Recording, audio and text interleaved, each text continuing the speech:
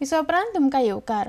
सगळ्या विद्यार्थ्यांक वेंचणुकेत मतदान करपाचो हक्क मेळचो म्हण मागणी एन एस युएन केल्या. ही मागणी पुराय केली ना तर गोंय विद्यापीठाचेर बहिश्कार घालतले म्हण शिटकावणी एन एस युएन दिल्या. आरटेक्स गोवा खातीर पणजेच्यान William Rodrigues The main reason of calling this press conference is to highlight two issues. पहिली म्हणजे गोवा युनिव्हर्सिटी स्टुडंट इलेक्शनचा इश्यू आणि the second issue is the PWD the water supply regarding the water So coming to the Goa University elections, like uh, all of you all know, on 16th of August, uh, elections took place. Uh, we wouldn't call it an election on the 16th of August, but a Gundaism that, take, that took place on 16th of August. And after the Gundaism that took place on 16th August, uh, we come to know that Dattesh Parulekar has been uh, relieved from his post. Dattesh was already a BJP person, but not officially a BJP person, was relieved from his post. And now, if you go to see, a official BJP candidate from Sant Andre, Mr. Ramrao Wagh, has been appointed as the director of the DSW.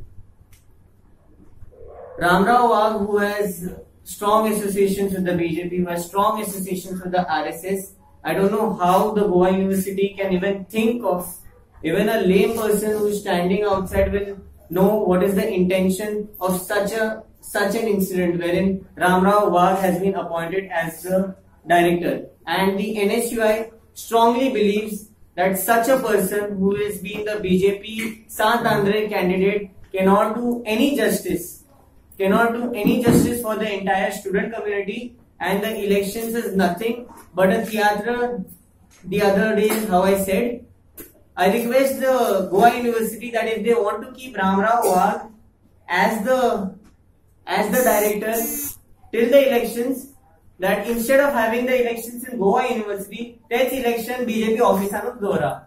Because the election is not between two political parties or two other other organizations. It is only between BJP and BJP A team and BJP B team. The elections that were happening the other day was only BJP A team and BJP B team.